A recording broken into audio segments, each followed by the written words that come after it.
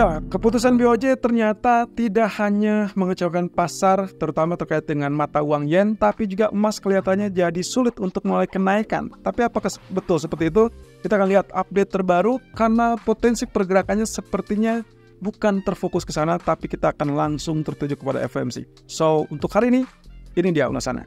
Oke, kita lihat di sini. USD Japanese Yen mengalami pergerakan kenaikan setelah USD Japanese Yen juga mengalami kenaikan. Tapi di sini intinya adalah kenaikan tersebut relatif bisa dibilang sesuai dengan perkiraan. Artinya market sudah menilai bahwa BOJ tersebut akan mengalami atau melakukan kenaikan suku bunga dan juga terkait dengan yield curve control yang dihapus.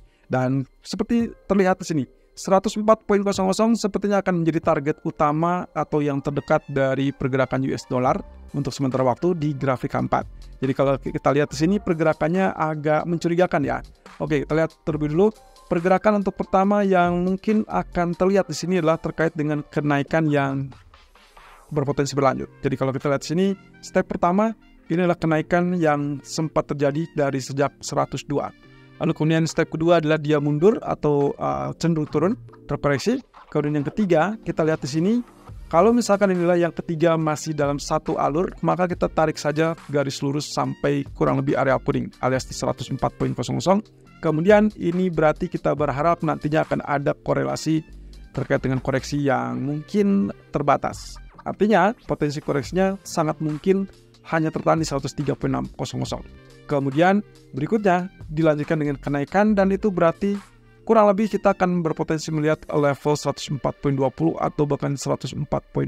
Ini dengan catatan bahwa teritori ini berpotensi menjadi area resisten yang cukup kuat alias secara psikologis mungkin agak sulit untuk ditembus. Nah, apa yang kita dapatkan di sini? Yang tidak sengaja kita dapatkan di sini adalah wave Elliott atau Elliott wave seperti demikian. Artinya kita dalam rangkaian wave ketiga kenaikan yang kemungkinan potensinya memang kecenderungannya masih sulit untuk uh, dibendung untuk kenaikan tersebut. Kita belum tahu apakah wave 3 ini terhenti di level 104 atau memang lanjut dulu ke level 104.20. Who knows? Ternyata memang persis dengan dugaan kita, kemudian tertahan, koreksi, dan itu berarti hanya ada kesempatan satu-satunya untuk gold mengalami kenaikan yaitu wave kelima karena kita kemarin sempat membahas terkait dengan wave keempat tersebut.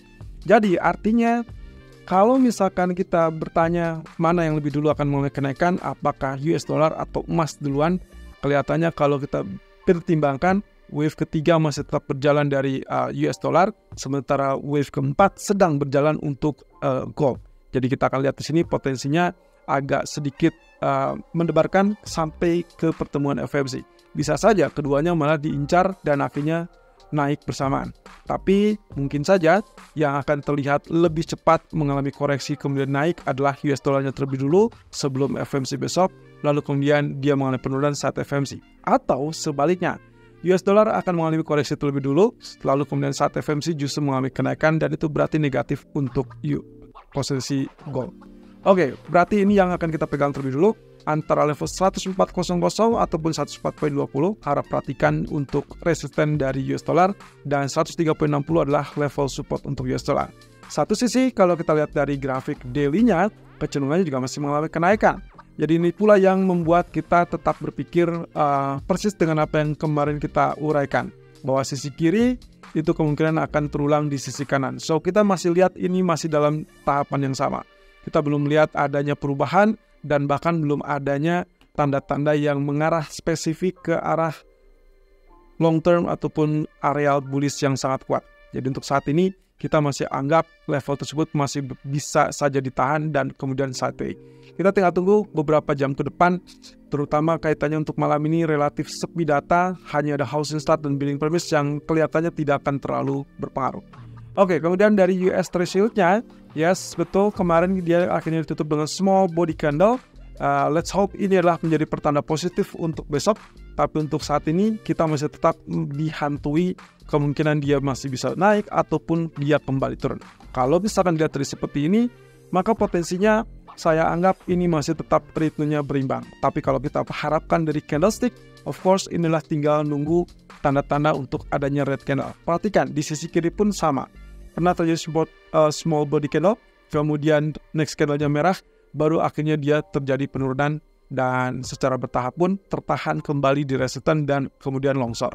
Jadi ini mungkin akan juga terjadi di sisi kanan ini.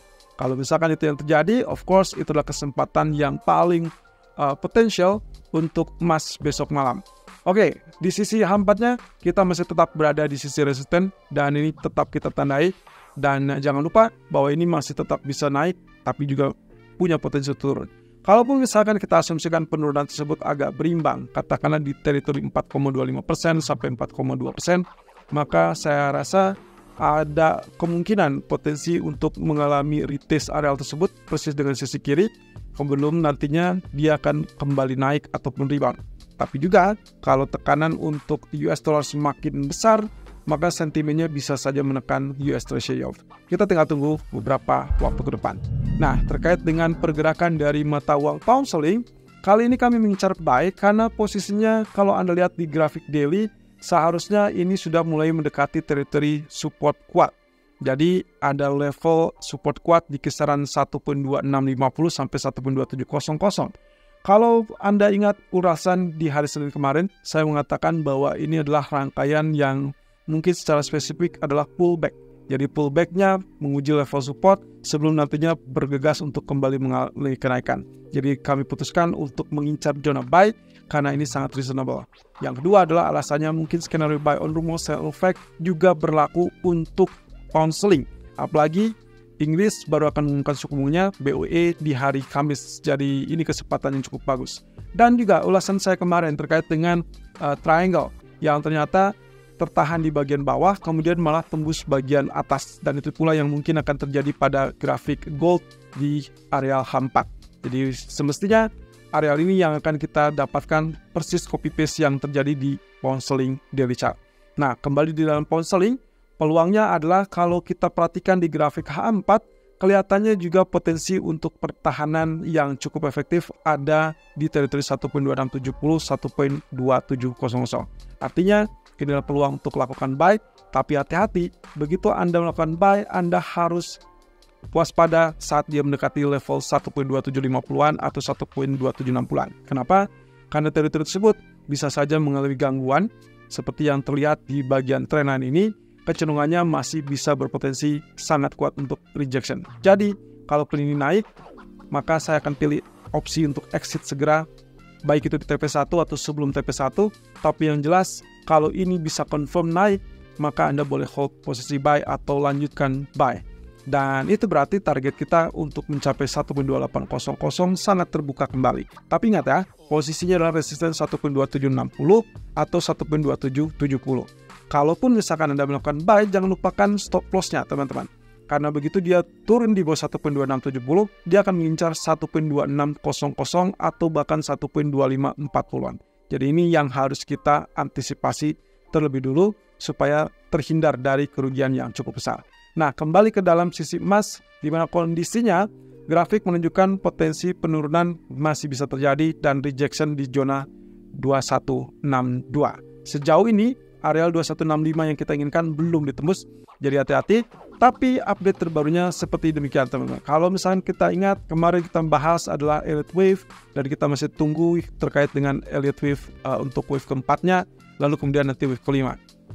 Oke, ada beberapa cara yang juga sudah sempat kita tayangkan dan kita tampilkan. Anda tinggal cek. Kita butuh konfirmasi supaya dia stabil di atas 1 atau 2150-an. Kemarin sudah sempat tergelincir ke 2145, tapi ini adalah false breakout dan itu berarti kita tidak anggap tembus. Tapi kalaupun tembus, jangan khawatir dan pastikan dia tidak tembus lebih rendah di bawah 2131. Kenapa?